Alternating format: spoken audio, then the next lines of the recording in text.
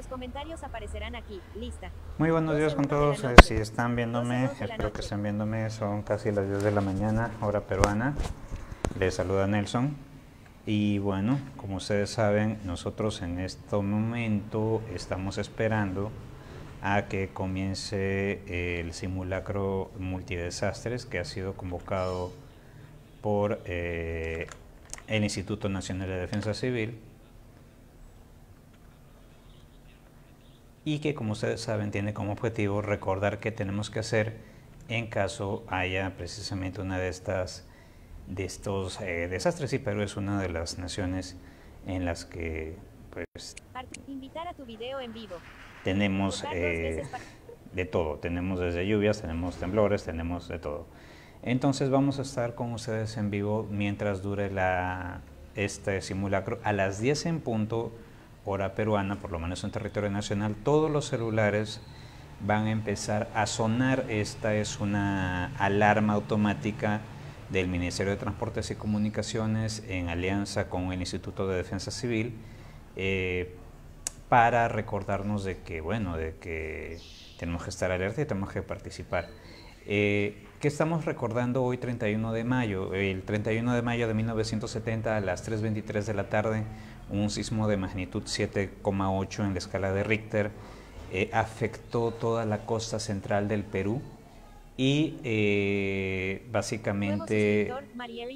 se Básicamente hubo como eh, algo de 70 mil personas que fallecieron debido a este sismo, la mayor parte en la población de Yungay, en el departamento de Ancash, aunque fíjense de que esa gente eh, no falleció precisamente por el sismo, sino porque el movimiento fue tal que hizo que un crestón del nevado Huascarán, que es el nevado más alto, es la cumbre del Perú, se desprendiera, eso produjera un aluvión, represara el río Santa y eso eh, produjera pues precisamente todo un alud que sepultó la ciudad de Yungay. La actual ciudad de Yungay está, si no me equivoco, al norte de la antigua ciudad de Yungay y es el recuerdo precisamente de que Perú es una zona de desastres. Aquí en el norte básicamente no tenemos muchos sismos, lo que sí tenemos son lluvias debido a la confluencia de las corrientes del Niño y de Humboldt, más que todo la del Niño, especialmente en los meses de verano, de enero a marzo. Y eso hace de que cuando el Niño predomina eh, que sobre eh, las aguas frías de la corriente de Humboldt, la corriente del Niño tiene aguas cálidas, lo que tenemos es un periodo de lluvias torrenciales y eso sucede aproximadamente eh, cada 8 a 10 años. Entonces, eh, lo que vamos a hacer hoy día es, como les digo, esperar eh, la alarma a las 10 de la mañana, hora peruana, y eh, básicamente pues vamos a ver qué sucede. En mi caso, yo voy a simular que aquí nos agarró un sismo. Eh, como ustedes saben, Arturo Peña Herrera Castillo lo está viendo. Como ustedes saben, eh, los sismos eh, en realidad no avisan. Y el año pasado, el 30 de julio, específicamente el 30 de julio a las 10, perdón, a las 12.10 tiempo local, 12.10 del mediodía tiempo local, tuvimos una emergencia porque eh, justo a 11 kilómetros a mis espaldas, de, están viendo la pantalla verde que utilizamos para hacer el set virtual de tres al hilo, pero a 11 kilómetros a mis espaldas justo se activó un punto, un, foco, y eso hizo que tuviéramos un remesón de 6,1 en magnitud 6,1 e intensidad eh, 6 para la- el, área de Sullana. Este espacio donde yo estoy, que es mi sala de trabajo y también el set, el estudio donde, donde les transmito el al hilo, se remeció de tal manera que parecía así una cosa. Eh, y por lo menos a mí me dio tiempo para caminar hasta mitad de sala, de aquí a la puerta hay más o menos unos, eh, unos 5 metros, 6 metros más o menos.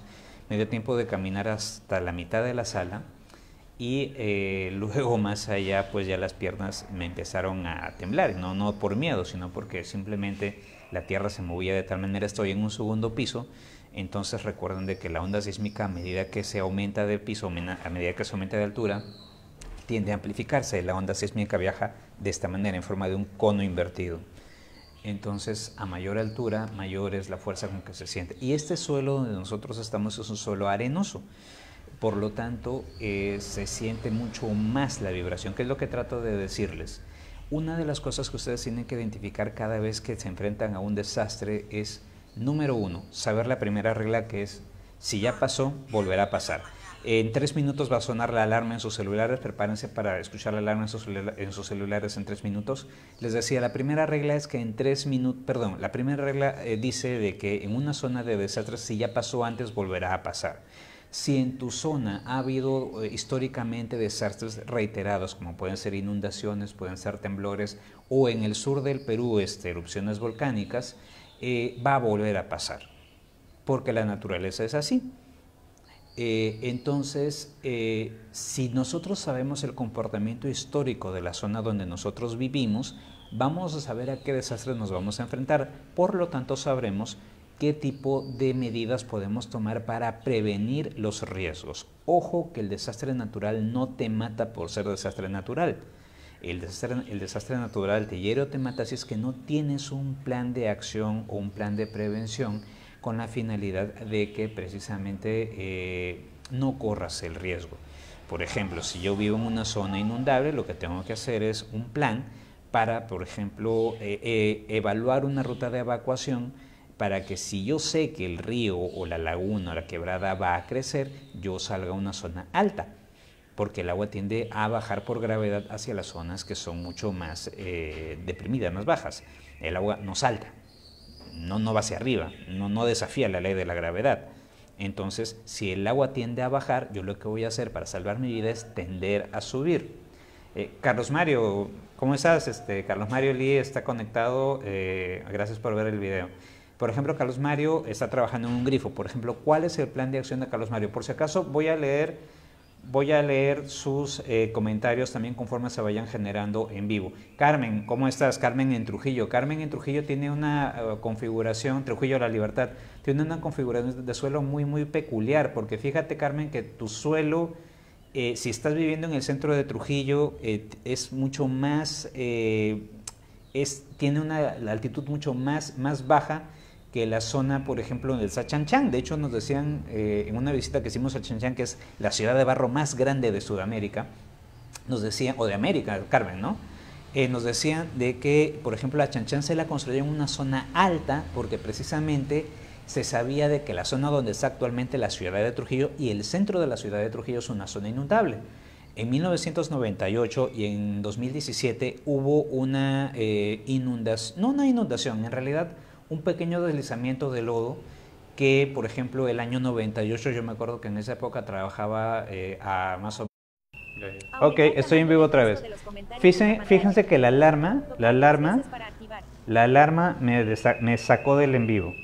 La alarma me sacó del en vivo. Ya estoy ahorita en la viga. Yo, como les decía, estoy simulando que estoy en, eh, en simulando sismo. Deberíamos todo detenerlo. Fíjese que afuera están escuchando a un vendedor eh, que está obviamente ofertando sus cosas, ya son las 10 de la mañana. Yo debería simular, o yo estoy simulando, perdón, que me ha agarrado un sismo, un sismo 7.5. La estructura donde yo estoy se supone que está diseñada para soportar un 7,5, un 7.5 de magnitud. He apagado mi computadora por precaución. La idea sería apagar las llaves también de la electricidad. No puedo hacer eso porque si apago eso eh, el router que me permite conectarme a internet se apaga y no podré transmitirles. Entonces, se supone que ahorita está pasando un 7.5 en el área de Sullana. Esto es un simulacro, recuerden. Me imagino que ustedes en sus zonas también estarán saliendo a los lugares de evacuación, zonas de seguridad, etc. Tienen que hacerlo de manera eh, tranquila pero ligera. No corriendo, no atropellándose, no yendo, no gritando. Cuando uno grita genera pánico. Hacerlo de manera tranquila vayan a los círculos de seguridad que les han asignado en las zonas donde están trabajando, su casa o eh, su trabajo. Yo sé que, por ejemplo, en Breña, Lima, un amigo me contaba que en su calle se organizaron para hacer círculos de vida. ¿Qué son los círculos de vida? Son círculos que se pintan en la pista de, la, de la calle y son puntos de reunión para la gente de esa cuadra que vive allí. Y fíjense de que por lo menos en los ejercicios de simulacro que que ellos han estado haciendo, eh, sí, les ha, les ha resultado. No sé, no sé cómo les habrá resultado en caso de un sismo real y Lima tiembla cada cierto tiempo. Están sonando las alarmas nuevamente. Repito, está sonando. Si suena la alarma en tu celular, tu celular no está mal. Lo que pasa es que es la alarma que el INDECI ha lanzado para que todos participemos en el simulacro. Puedes desactivarla apagando directamente la alarma en la pantalla de tu celular si tu celular es eh, táctil o me imagino que hay un botón también en los celulares que todavía tienen botoncitos. Entonces, ¿cuál sería la siguiente acción? Supongamos que ya pasó el movimiento. Yo todavía tengo aquí un tramo, les decía, de 5 metros, así que voy a intentar hacerlo. Entonces yo lo que voy a hacer es tratar de salir hacia la zona donde está mi punto de evacuación, que sería mi puerta. Entonces salgo mi puerta. Ahora, ¿cuál es mi problema eh, con mi zona de evacuación? Ya estoy en la puerta, ya estoy prácticamente en la calle. ¿Cuál es mi problema con la zona de evacuación? Se los voy a mostrar. Tengo una escalera. ¿Cómo se hace una evacuación en una escalera? Simple. Vamos a intentar hacer efecto Steadicam. Si ven, un palo es el palo del, que sujeta el celular. Entonces, lo que hago es agarrarme del pasamanos. Ojo que su pasamanos tiene que estar muy firme. Ahí está. Espero que mi audio esté bien. Y bajo de manera normal. Bajo de manera normal. Ta, ta, ta. Y me voy hacia el punto de reunión o la zona de evacuación. ¿Entienden? y me quedo ahí. Supongamos que este es mi punto de evacuación. Bueno, lógicamente aquí eh, tengo eh, estructuras. Entonces me quedo aquí en mi punto de reunión y me quedo aquí esperando las instrucciones de las autoridades. Si tienen un radio a pilas, si tienen un radio a pilas o si su celular tiene la fortuna de tener eh, una, una transmisión de radio FM, conéctenlo a una radio confiable, a una estación de radio confiable para seguir instrucciones. Eh, ojo de que el sistema de alarma va a estar conectado a algunas, algunas cadenas de radio para precisamente dar instrucciones en tiempo real. Ahorita eh, solamente se está probando el sistema. Lo que ustedes están ahorita recibiendo como alarma en su celular es solamente una prueba. El sistema tiene que estar implementado entre fines de este año y el 2023 especialmente la alarma, la alarma de sismos. Aclaración, esa alarma que están recibiendo no es una alarma de sismos, es una alarma para diferentes desastres, inundaciones, lluvias, eh, sismos, eh, erupciones volcánicas, etc. etc. Eh, recuerden de que por lo menos en países como Perú pues vivimos N cantidad de, de eventualidades porque nuestra configuración geográfica también es muy compleja. Entonces yo estoy ahorita en mi zona de seguridad, estoy tranquilo, eh, fíjense que el día está despejado, está soleado, tenemos más o menos unos 25, 26 grados ahorita en el área de Sullana. Y eh, básicamente yo espero aquí a que luego, si las autoridades me lo dicen, vuelvo a eh, meterme en la estructura donde yo estoy viviendo, trabajando. Siempre aquí se necesita el liderazgo de dos, de varios niveles de de actuación. Uno, por ejemplo, es tu, el jefe de brigada de defensa civil. Miren, miren interesante, o sea, por ejemplo, los vendedores ambulantes, bueno, al margen de que tienen que, vender, no han participado, los están escuchando. Eh, les decía de que en el caso de, una organización eh, o en el caso de, que ustedes tengan que organizarse para desastres, deberían tener un jefe de brigada me refiero que puede ser alguien de la familia o alguien del trabajo, y ese jefe de brigada tiene que un poco ser su líder a la hora de, por ejemplo, evacuar o, hacer, o actuar en caso de desastres. Eso en primera instancia. Luego hay un, jefe de brigada a nivel ya mucho más macro, que es a nivel de distrito, que es el alcalde distrital, obviamente que también tiene un jefe de defensa civil en cada municipalidad, y así conforme vamos subiendo de escalón, el jefe eh, de defensa civil es eh, la autoridad máxima, en el caso de la provincia del alcalde, en el caso del departamento el gobernador regional y en el caso de la nación el presidente de la república. Entonces, la idea es que eh, la información salga de parte de ellos. Además, tenemos los comités de operaciones de emergencia, tanto distrital, provincial, regional y también nacional. Entonces, eh, estas son las autoridades que oficialmente nos tienen que dar instrucciones acerca de qué hacer o cuál es el reporte de daños. Entonces, lo que yo voy a hacer ahora, suponiendo de que ya me han dado la orden de eh, ingresar nuevamente a mi estructura, voy a reingresar a mi estructura. Recuerden que yo tuve que bajar un piso, Entonces voy a subir nuevamente mi estructura, voy a subir la escalera. Si suben una escalera, recuerden, agárrense del pasamanos. Me voy a agarrar el pasamanos, ahí está mi pasamanos. Agárrense del pasamanos. Ahí está mi pasamanos, ahí está, ahí está mi pasamanos. Agárrense del pasamanos por precaución. Siempre y cuando les digan que la estructura es sólida. Afuera sí estoy escuchando sirenas, me imagino que son sirenas de... Sí, hay sirenas, ahorita que estoy subiendo al segundo piso. Si hay sirenas, voy a intentar subir a otra área, creo, no sé, ah, no sé, voy a estar acá. Entonces, esta es mi zona de trabajo. Eh, lo que yo voy a hacer ahorita es básicamente prender la televisión, que es mi, mi punto de, mi, mi, mi modo en que me informo. Básicamente, a ver cuál es el reporte en otros lugares. Si tienen un radio y si hay electricidad, ponen la radio o si no hay electricidad, su radio a pilas. Les recuerdo que yo no he apagado la electricidad porque si apago la electricidad no me conecto a internet. Entonces eh, estoy con ustedes nuevamente y vuelvo a mi espacio de trabajo. Entonces vamos a encender la computadora nuevamente, vamos a ver qué reporte hay, a ver qué reportes tenemos en otros lugares. Recuerden de que no todos los lugares del Perú tienen la misma, el mismo tipo de, de desastres. Recordemos, dependiendo de la configuración. Si ustedes entran a Twitter y siguen arroba factor tierra o si entran a Facebook y ponen hashtag factor tierra en la escuela, van a ver una serie de materiales en los cuales nosotros hemos tratado de, por ejemplo, rescatarles casos reales de zonas afectadas por diferentes tipos de desastres. Por ejemplo, eh, les decía de que, por, ejemplo, el año pasado aquí tuvimos un sismo.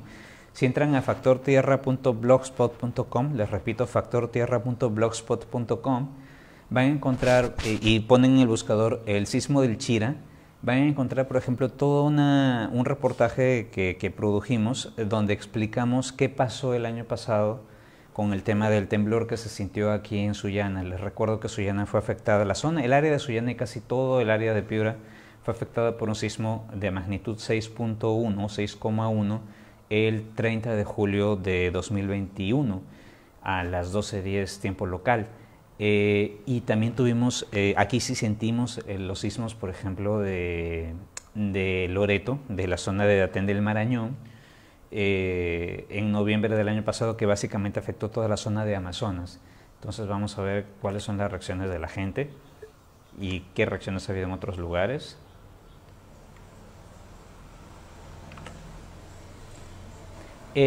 Cuando ustedes estén en caso de un desastre real, no hagan llamadas de teléfono porque la línea colapsa.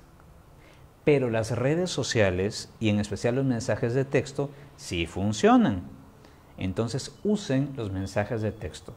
Si necesitan llamar a entidades como los bomberos, háganlo solo en caso de absoluta necesidad en el Perú el teléfono de los bomberos es el 116. Solamente háganlo en caso de una absoluta emergencia. No lo hagan por juego.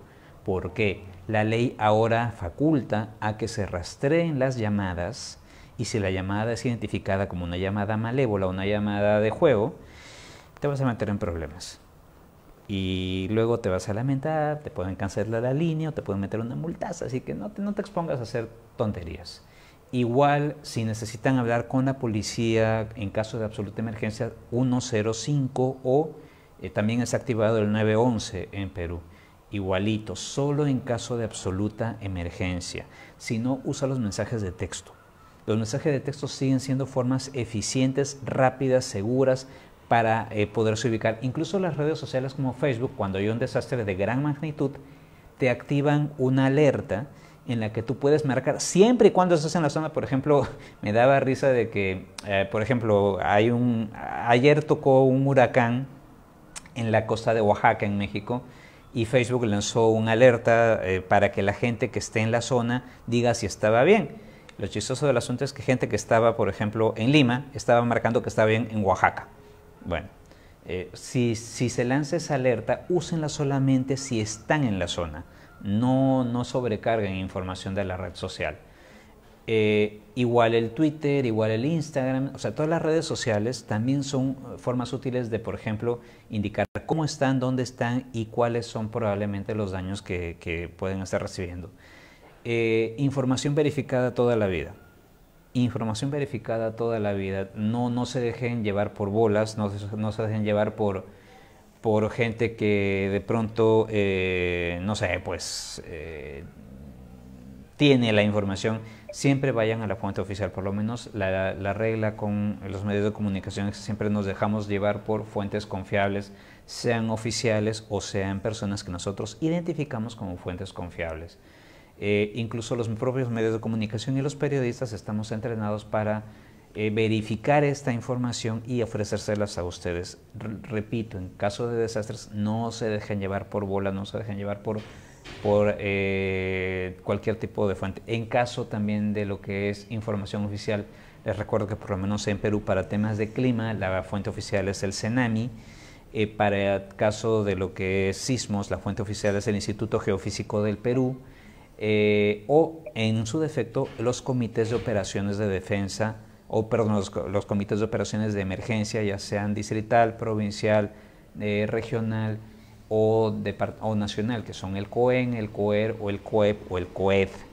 Eh, ¿Quiénes deben liderarlos? Los alcaldes, los eh, gobernadores regionales o el presidente de la República y, lógicamente, eh, el jefe de defensa civil asignado por cada autoridad. vamos a ver cómo está la situación acá.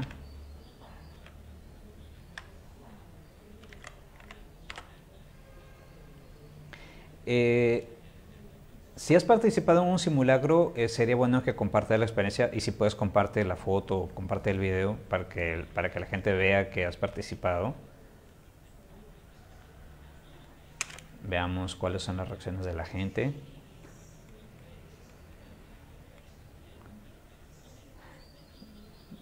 Miren. Hola Eric. Eric, Eric ha estado viendo el video. Manuel, Manuel, por ejemplo, Manuel, Manuel Castillo en, en Malingas, Tambo Grande. Manuel, por ejemplo, ahí tú tienes el problema de la quebrada San Francisco en caso de una inundación.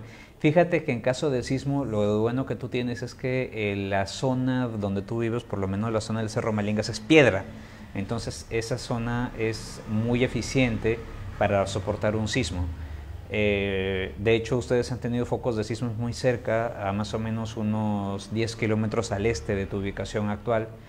Eh, entonces, eh, el suelo en el que ustedes están, además es un suelo arcilloso, entonces cuanto más compacto es el suelo, más tiende a absorber la onda sísmica, así que no es como el caso de un suelo arenoso como el que tenemos en, este, el área oeste de Sullana, donde incluso si el movimiento es muy fuerte, la tierra se puede soltar mucho y sucede un fenómeno llamado liquefacción de suelo, en el que básicamente el suelo se convierte casi casi como gelatina.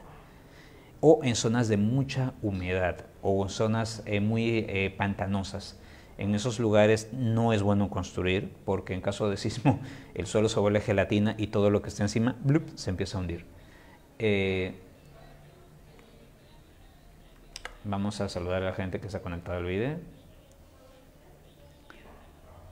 Y por ejemplo, por aquí tenemos por aquí.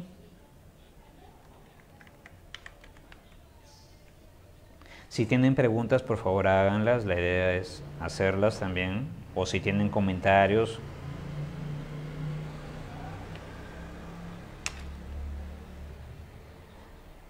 Saludos a Dixon en Mercabelica. Dixon, por ejemplo, en tu caso tienes que prepararte para una inundación relámpago del río Chira eh, lo de bueno que el cerro que tú tienes ahí en, en Marcabélica es que es un cerro arcilloso, así que por ahí el problema no es eh, que el cerro se deslave, pero sí en el caso de una inundación relámpago, si es que hubiese algún tipo de colapso o aumento súbito del río Chira. Ojo que el río Chira ahora está controlado, pero uno nunca sabe. O por ejemplo tienes quebradas cercas o canales cerca. Otra vez Manuel, ¿cómo estás? Saludos. Mostrar comentarios en pantalla completa, cerrar. Tocar dos veces para activar. Eri, creo que estás en Lima tú.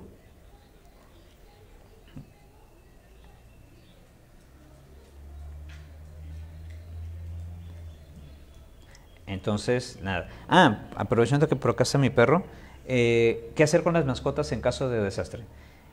En el caso de las mascotas, eh, a ver, voy a quitar el, audífono para, para, que el monitor no me... En el caso de las mascotas, por ejemplo, eh, en la medida de lo posible, si, si está en sus posibilidades, traten de sacarlas o eh, eh, designen a alguien que pueda sacar a la mascota. La mascota muchas veces en estos casos puede reaccionar de dos maneras, o reacciona muy violentamente o se pasma. Yo recuerdo mucho que para el sismo del año pasado mis mascotas se pasmaron. Entonces, en esos casos lo mejor es tener un, plan también para sacar a la mascota y que la mascota no, no, sufra también, porque la mascota también siente. Y ojo que la mascota es mucho más sensible que, que, nosotros los humanos. Eh, aunque mis mascotas últimamente ya no, son muy sensibles a los temblores, pero también igual hay que tener un plan para sacar.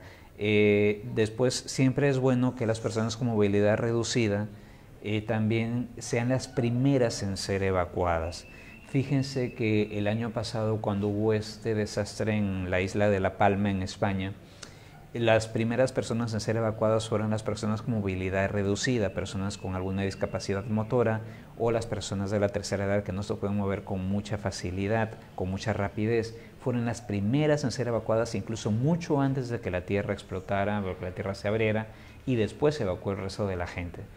Entonces, siempre tener ese tipo de planes, siempre tener ese tipo de protocolos. Los protocolos son importantes en la vida, si no cuando llegue el momento de actuar, todo el mundo va a querer hacer lo que le dé la gana y al final todo va a ser un caos. Y eso no simplemente no, no, resuelve, no resuelve la vida de la gente. Vamos a ver.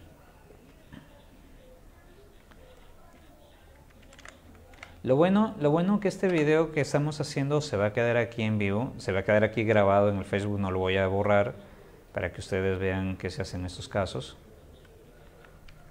y luego lo voy a poner como público para que el resto de usuarios lo vean. Vamos a ver qué, otras reacciones hay, qué reacciones hay. Vamos a ver qué dicen las noticias a nivel nacional sobre el simulacro.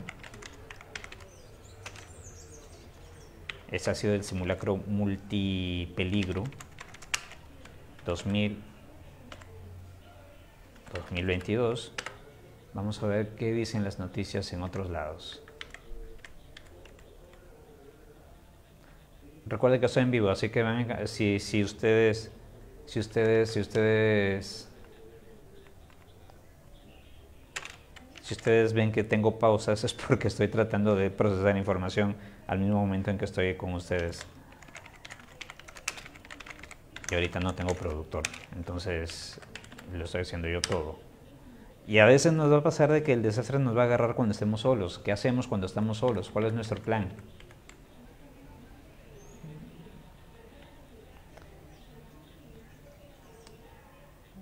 Fíjense, fíjense que hay, hay una, hay una. Martin Jonathan Nelson, buenos días. Se podrá ir el jueves para ir a visitar.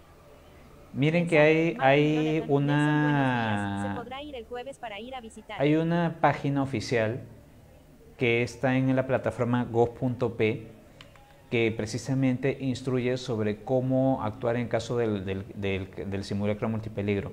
A ver si tengo, si capturo la página, ojalá se las pueda pasar. Y, eh, igual si entran a la plataforma gov.pe y buscan como simulacro multipeligro, eh, ustedes pueden eh, tener información ahí a mano oficial del Instituto Nacional de Defensa Civil donde ustedes pueden eh, de alguna manera eh, saber qué hacer, qué hacer, cómo preparar la, famosa mochila de emergencia, que también es importante. Esta página estaba instalada hace cuatro días. ¿Qué dice Infobae? Infobae, Infobae está llamando a que la gente participe, Infobae Perú. El peruano que dice, Miren, 8 millones de estudiantes van a participar o están participando en ese simulacro múltiple. 8 millones de estudiantes, ya estamos en época de colegio. A ver, vamos a ver qué. Les repito, fuentes confiables, fuentes confiables. Si van a buscar información en prensa, fuentes confiables. Convoca también, eh, ha puesto todo un tutorial de cómo actuar en caso de, desastres naturales. Interesante lo que han puesto en Convoca, les los invito a ver, Convoca Perú. Y el comercio también, lógicamente. También está haciendo una cobertura en tiempo real del Simulacro Nacional Multipeligro 2022 hay una cobertura en este momento, está en vivo totalmente en su plataforma. RPP, RPP también ahora mismo está, ha cortado su programación y está transmitiendo en vivo.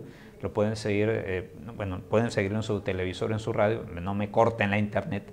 Síganme también en internet a mí. Fíjense, fíjense que la prensa está participando mucho, ¿eh? Para que no digan de que la prensa no participa. La prensa sí está participando y está dando información. Y también por eso es que yo también me he conectado con ustedes, para que de alguna manera vean de que todos vamos a participar, o todos estamos participando. Ahora, ojo de que ese simulacro ha sido de día, falta que nos hagan un simulacro de noche, que esa va a ser otra jarana. ¿Cómo actuamos en caso el desastre sea de noche? ¿Qué tenemos que hacer? ¿Cómo tenemos que actuar? Eso también tenemos que ensayarlo. Y de noche, y de noche nos juega en, eh, en contra dos situaciones. Uno, la oscuridad, lógicamente, y al tenerlos, y el tema es que de noche las comunicaciones tienden a hacerse mucho más cerradas, especialmente en la hora entre 7 a, 12 de la noche. Ya ni les digo en la madrugada, pero en la madrugada pues eh, de alguna manera las calles están despejadas, evacuar es mucho más sencillo. Pero de todas maneras, ¿qué se hace en esos casos también? ¿Cuáles son los puntos de reunión?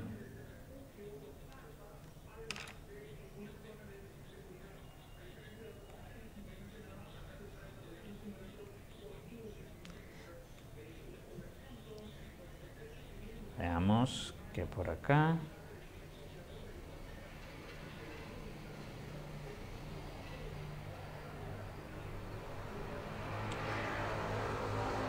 Fíjense que la Municipalidad de Sullana, la Municipalidad Provincial de Sullana en su, en su Facebook también ha estado transmitiendo, ha estado transmitiendo el simulacro, específicamente lo que ha pasado en colegios. Ellos aparentemente han estado en el colegio, déjenme chequear el dato exacto. Ah, miren, el Colegio Víctor allá de la Torre en el barrio sur, cerca del tanque elevado del barrio sur, que esa es la zona más alta de la ciudad de Sullana. Entonces ellos han estado ahí también. Así que, bueno, ya saben que se tiene que hacer en caso de desastres, ya saben que uno tiene que participar de los simulacros y uno tiene que tener planes de acción. Eh, les repito, número uno, si ya pasó en tu zona, va a volver a pasar. Así que si históricamente se sabe qué desastres suceden en tu, en tu localidad, en tu comunidad, ten por seguro que va a volver a pasar. Entonces ya debes tener un plan de acción. La naturaleza tiende a actuar de la misma manera como actuó la vez anterior. Entonces es sencillo predecir cómo tú puedes actuar. Número dos, no desafíes a la naturaleza.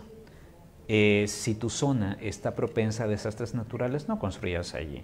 No construyas en zonas inundables, no construyas en zonas donde el terreno no ofrece la garantía. Si la norma de construcción te dice que solamente tienes un límite para levantar una estructura, respétalo. Si en tu zona te dicen que solamente puedes construir tres pisos, no hagas cinco, porque puede haber problemas. Y en la medida de lo posible, cuando hagas estructuras, procura contactar a un profesional de, las, de la rama que te diga cómo hacer exactamente la estructura. Fíjense que tengo un amigo que me contaba de que él levantó una pared y durante el sismo la pared se le rajó, porque la hizo simplemente, bueno, con sus conocimientos y él no es especialista en ingeniería civil. Entonces, siempre es bueno consultar al especialista. Y sí es bueno eh, saber leer un plano para que sepas identificar cuáles son tus zonas de seguridad en caso tengas que protegerte, sepas dónde están las instalaciones, las conexiones de agua, etc. Saber manejar un extintor en caso haya un incendio pequeño eh, eh, y saber cómo trabajar con todas las herramientas de seguridad que puede existir. Saber también primeros auxilios, eso es clave. Eh, si uno sabe primeros auxilios, le puede salvar la vida a una persona cuando está en, verdadero peligro. Y fíjense que en los desastres pues sucede de todo, hay desde heridos, hay, olvídense, hay, de todo. Les invito también a revisar material existente nuevamente. Entren a factortierra.blogspot.com. Hay una serie de cuatro reportajes que deberían ver. Entre ellos también cómo va a funcionar el sistema de alerta de sismos del Perú, el sistema de alerta temprana de sismos del Perú, SASPE, que tiene que ser implementado en 2023. Explica cómo funciona, cómo pudo haber funcionado. Todavía no está implementado, lo están probando, todavía están en implementación. La pandemia lo, frenó un poquito el proyecto eh, sí está ahorita activo el de defensa civil, que es otro, otra alarma que fue la que acaba de sonar a las 10 de la mañana exacto y que fue la que me desconectó del live. Eh, y eh, también eh, el otro tema que ustedes tienen que aprender también es que mucho, lo que se espera es que la alarma sea conectada a medios de comunicación. Entonces, si ven que en medio de comunicación que ustedes siguen se activa la alarma, pues hacer lo que, lo que se, se instruye. Entonces, nada. Cualquier otra pregunta, eh, como les digo, el video va a estar aquí para que ustedes lo sigan viendo, para que ustedes lo compartan y también para que ustedes compartan la experiencia de qué pasó en su escuela eh, o donde ustedes estén. Para el caso de periodistas que quieran saber qué hacer en caso de desastres naturales, me preguntan, hay un post que yo escribí sobre cómo, hacer, cómo actuar en caso de desastres naturales, me buscan en LinkedIn y ahí se los puedo compartir. En linkedin.com, ahí estoy como Nelson Peña Herrera Castillo, y ahí les puedo compartir ese, post donde cómo debemos actuar los, los comunicadores sociales en caso de desastres naturales, una serie de protocolos que deberíamos seguir para poder actuar en esos casos. Nada, yo esta semana les cuento que vamos a tener el 3 al hilo el día viernes, lo vamos a lanzar.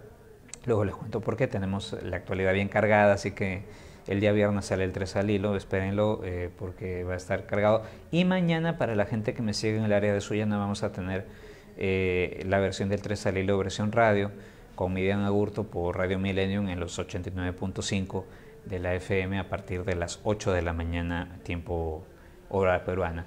Entonces, eh, nada, pues yo los espero con cualquier pregunta, cualquier comentario, cualquier consulta y estaremos pues de pronto en el próximo live tratando de cubrir las cosas que están pasando a nuestro alrededor. Espero que no sea el único y les voy a tener más material conforme se vaya, se vaya generando.